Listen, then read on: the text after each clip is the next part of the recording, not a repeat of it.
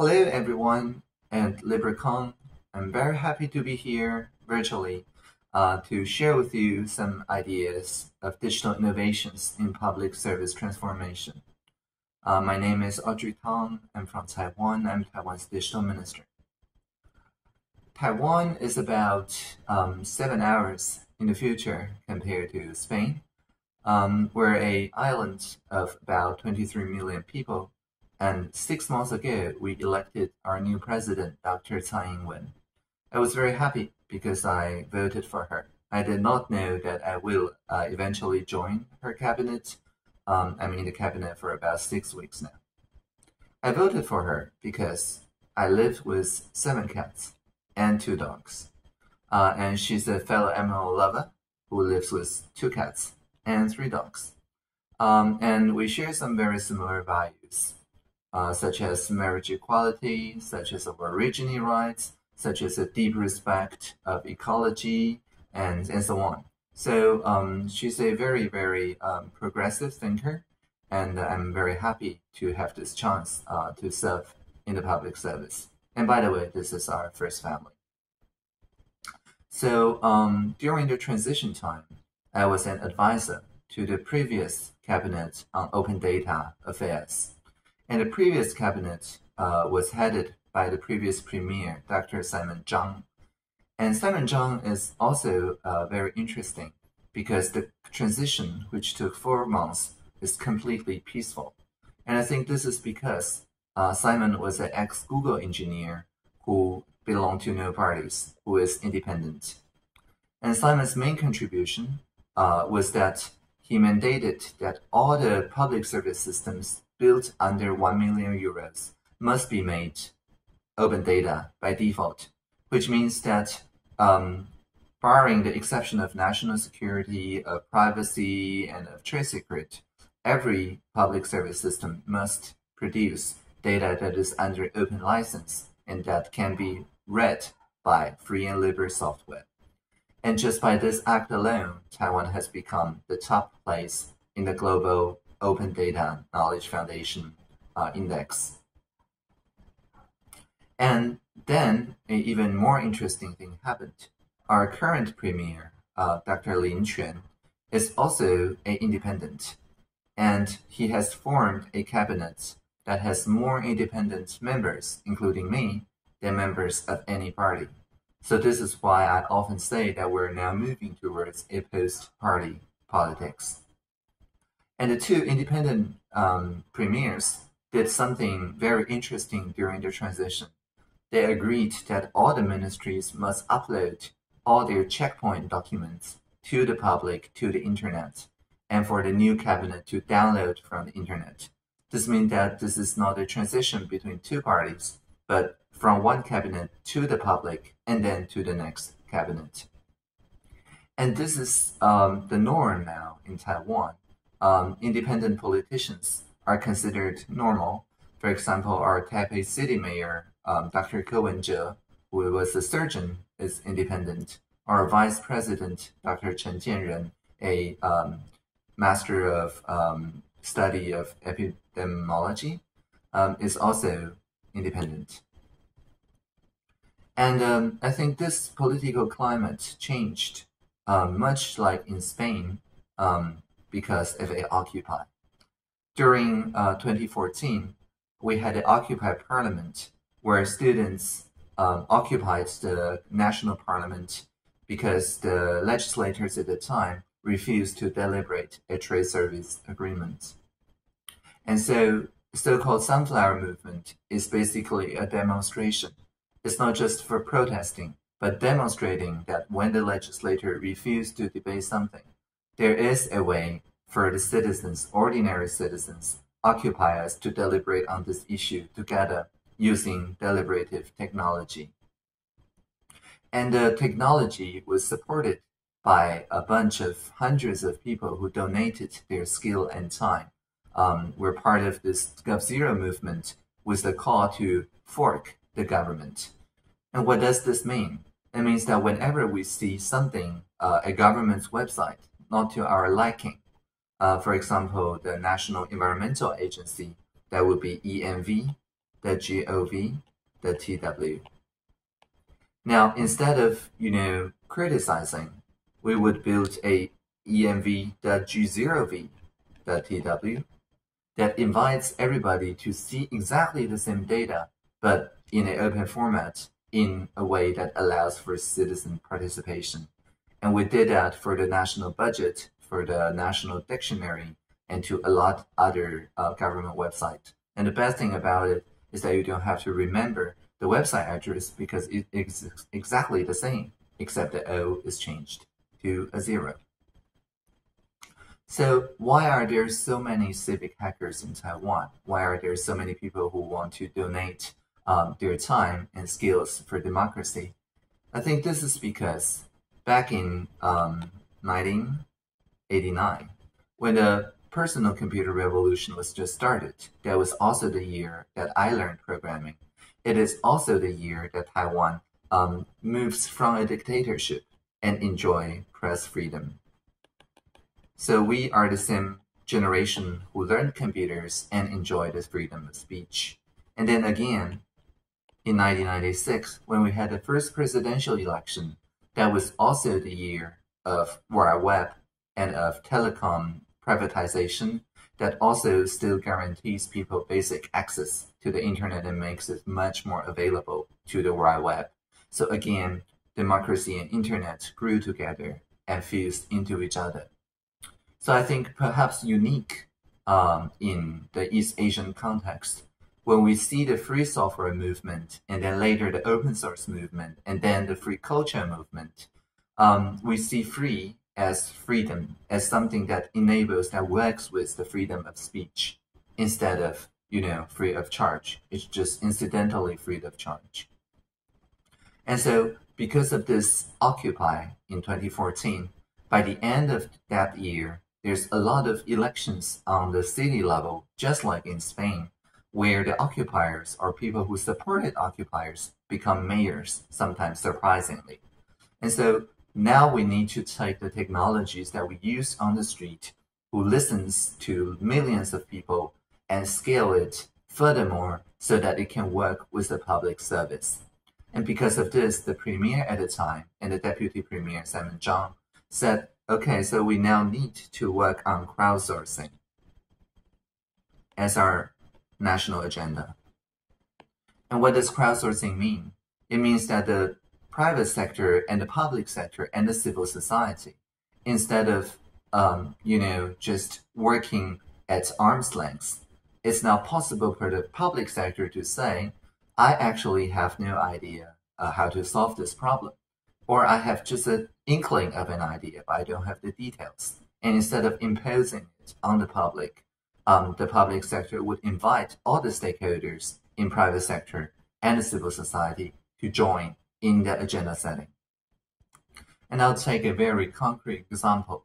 Um, I call this uh, a flu of the mind. It's a virus of the mind. It's called a meme um, called sharing economy. And just like um, a real biological virus, it has many different strains.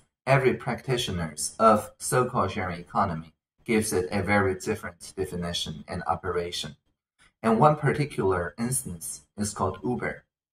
Uh, the Uber strain of um, sharing economy says basically that the public transport system is too old, it is too inefficient, and they think that by introducing an algorithm that dispatch cars, they can work much more efficiently. That was the meme.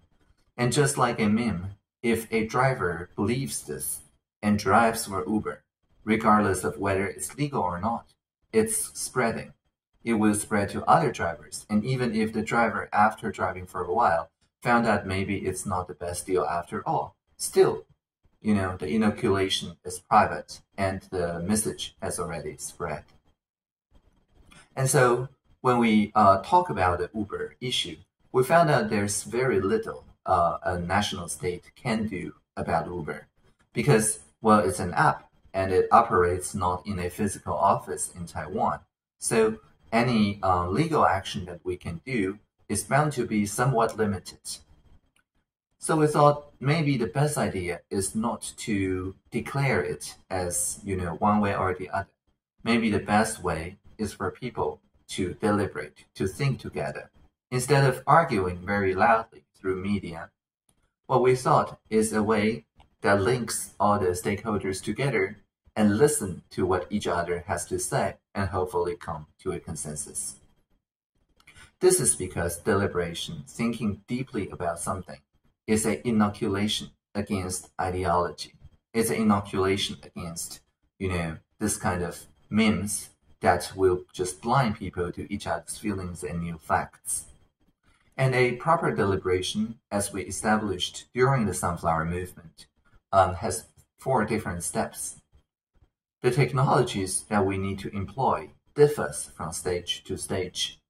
The first stage is what we call the objective stage or facts. In this stage, people are welcome to propose anything. We don't do voting, we don't do, you know, any kind of polling. We just collect observable facts from all the stakeholders involved. And then we ask about people's feelings. The same facts may elicit different feelings. I can feel happy, you can feel sad or angry. This really, there's no right and wrong. But it is very important because on the third stage, which is ideas, the best ideas is judged by whether it can take care of the most people's feelings. And finally, after facts, feelings, and ideas, we move to decisions. And of course, the public sector, the minister, still has to bear the responsibility of decisions, but at least they can make the decision with people's ideas, with people's feelings, with the facts in mind. But it didn't usually work that way because there is a gap in the language that was used during agenda setting in the government, and usually with the representatives from the private sector who may or may not want to keep some information to themselves and share only part of their information with the government. There's, of course, independent experts, academics, scholars who share in a very different way. But all in all, this uses the experts' language that differs markedly with the common language of people on the street. And the more um, the government want to maintain a united front before announcing anything, the larger the gap uh, the people on the streets information has and the people in the government have. And so the wider the gap, the more likely that the ideas on the street will become ideologies. You see, ideas are great, but ideas must take care of people's feelings and facts. Ideas in an environment where people don't even share the basic facts and feelings grow into ideologies. An ideology to me is a uh, even more dangerous form of meme that blinds people to new facts, that blinds people to each other's feelings. So to do open government, our first priority is to publish all the data not only from the government, not only for the public sector, but also in our data portal in everywhere, we invite people from the private sector and the civil society to contribute data. And this is what we have done. And second, we need a scalable um, tool to collect people's feelings, either synchronously or asynchronously. And in this case, in the Uber's case, over about three weeks of time, we use this open source free tool called Polis. And in Polis, we basically show one sentiment that is shared by your fellow citizen. And as you click yes or no, your avatar would move in this two-dimensional map that automatically clusters people who share different feelings, who share the same feelings. So at the beginning, people were very polarized. They were in the corners. But because we say we only take as agenda anything that can convince a supermajority of people, meaning all of the majority group plus half of the minority group. So people compete to get more nuanced, much better uh, ideas that would take care of the maximum people's feelings. So on the feeling stage, basically, what we're saying is that we welcome people's feelings that are also common feelings among other people. So we identify consensus among divisions. And so this is the basic interface. And there were um, thousands of par uh, participants. There were uh, tens of thousands of votes. And by the end, we did get a bunch of consensus items that everybody, including Uber drivers and taxi drivers, can agree to. And then we would ratify it. But before ratification, uh, we meet with all the stakeholders at that time on a face-to-face -face live consultation. And because the facts and feeling stage are already collected, for this, we deploy another set of technologies using live streaming, using chat room, using synchronous uh, responses that basically collects everybody's um, responses to the common feelings. And all the stakeholders, once they promise something, once they clarify something, is then kept not only through live stream, but through transcripts for the entire country and for the world to see. So in this case, people speak uh, with a lot of civility because they know thousands of people are watching. so by the end of this consultation period, um, the Ministry of Transport then takes the consensus items and ratify it into our new e-taxi regulation. In the regulation, basically, we take the best parts that Uber has to offer. For example, the five-star rating system. For example, um, the ability for people to ride share at some day, or for example, a way um, for people to uh, keep track of their uh, past travels, and a way uh, for the cars not necessarily to be painted yellow. But then we put it into a way that we understand that will not negatively impact any other stakeholders groups. And because of this, other uh, legitimate companies or co-ops, even locally, that want to operate as something like the e-taxi fleet can now compete on a fair basis and knowing that the people, the popular will is behind them. But of course, all these um, consultations are very hot topics for the media because there were a lot of protests, there were a lot of conflict. But there's um, many other important issues that needs public consultation that may or may not get the same uh, coverage of media, which is why soon as I become the digital minister, I started running my own uh, media studio, basically. For example, uh, I have this Wiselight page at wiselight.com slash Audrey Tang that basically it's a Ask Me Anything platform that people from the press, people, uh, just individuals, stakeholders, foreign journalists, everybody can just post any question here, and I strive to answer within 24 hours. And every answer of mine is sent to thousands of subscribers' email box. And through this kind of direct communication method, I'm able to make transparent everything that I have participated. For example, uh, when the senior VP uh, of Uber's strategy, uh, David Plouffe, visited Taiwan, um, I did meet him but under a 360 camera that records the entire conversation from the time he enters my door to the time he leaves my door. And the entire um, video is published not only on the usual social media, but also transcribed using the same transcripting technology, which is called SayIt. It's developed uh, in mySociety in the UK. And again, every word that I say, every word that he says is kept for the record. So there is um, minimal worry about you know a single stakeholder setting agenda, but rather I invited him to share his side of the story and facilitate communication with other stakeholders. So I think uh, in addition to the data portals that we already have, uh, in addition to the portals that share that everybody share their um, raw material, what we need to work on next is a integration because um, there's very few people with the ability to engage all the different sources of data from the private, from the public, and from the civil society. Rather, if all our data systems can publish using a well-known compatible API format, um, and in particular the open API specification, it becomes much easier to integrate it into investigative journalism, into chatbots, into virtual reality, into any devices that we may care. So this is why, as the digital minister, I also proposed a change uh, to our procurement laws so that all the public systems uh, paid by taxpayer money um, is best um, constructed with a machine readable version of itself. And so the human readable version may be just a shell, uh, a front end to the backend Open API. And once the Open API is made open, um, independent ministries, independent units can connect their services together, and the connection does not need to be made as um, one or the other's duty, and a third party can also do this kind of integration. And so to determine the roadmap like this, we use a lot of offline tools, such as this so-called business origami. Our team meets every week to decide on the roadmap to the week, and then we run our daily um, Kanban, our daily board, using this kind of post-it notes.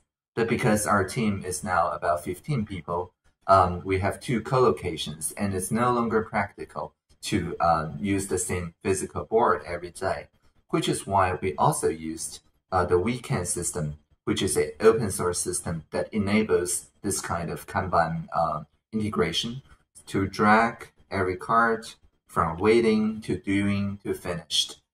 And Wekan, again, is just one of the many tools that was offered.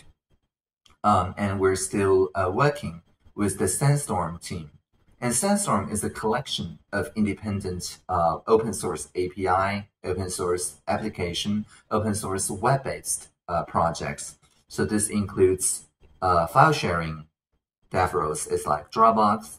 EtherCalc, this is actually what I wrote with Dan Bricklin and I maintain is like Google Spreadsheets. Etherpad is a collaborative note-taking documentation. Um, WorkPad is like HackPad, and then Wekan the Kanban board. And all this is built um, inside the government in the government cloud. So what this means is that all the ministries and even people in the regional government can share each other's collaborative documents very easily and deploy new applications as easy as installing an app on your phone. And so this kind of um, space is what we call the public digital innovation space. Uh, it is a internal startup uh, inside the national government. And our work is based on this very simple idea. Maybe voting is just the beginning of democracy. Everybody can vote. On the other hand, in Occupy, a few people can dedicate uh, a lot of time to do agenda setting by occupying the parliament. But we cannot just have democracy with these two modes. It is too fluctuating, too unpredictable. And the way we work is by having a open data, open API platform so that everybody can share freely and doing analysis freely using the data that's produced by public systems. And every time people who has a petition or has a question and the public servants has a way to systematically answer it within a given time frame. And this is the beginning. And then the stakeholder need to learn to discuss with each other. And this takes trust, and trust takes time. And then eventually people will learn to listen. And once people can learn to listen to each other, then we can make new cases, new, more nuanced regulations that take care of every stakeholder's interests and this is how we crowdsource agenda setting eventually. And we understand that at each time, the people with ability to participate get gradually fewer and fewer. But it is okay because as long as people form a ladder of learning and share the technology, share the process in the commons, anyone who wants to learn more can connect with people upper in the ladder and everybody who has some other work to do or uh, more commitments can very safely uh, fall down to a lesser uh, engagement layer, but still enjoy the fruits of the tools of the open technology that was produced by the upper ladders. And I think this is how we can avoid the polarization, uh, the so-called um, filter bubbles that is built by the current generation social media. Instead, what looks like conflicts can often be resolved by introducing a time dimension. And then this is mathematically called resolving singularity. We listen to one side's ideas, document it fully, and make the uh, interim consensus publicly available. And then we ask for more feelings and ideas from the other stakeholders, and so on and so on, like a spiral that will eventually converge uh, into something that has much more consensus from the society. So to conclude my talk, I would like to quote from Dr. Tsai Ing-wen in her inauguration speech. She said, before, democracy was a clash between two opposing values. But now, democracy must be a conversation, a dialogue between many different values. We need to build a unified democracy that is not hijacked by ideologies. We need to build a pragmatic democracy that can respond timely to the needs of the private sector and of the civil society. And finally, we need to build a democracy that lets people take care of each other and each other's feelings. And we do this just by listening. And all the technologies, all the liberal and free open technologies are there to help us to listen to each other at scale. So just keep listening to each other. Thank you for listening.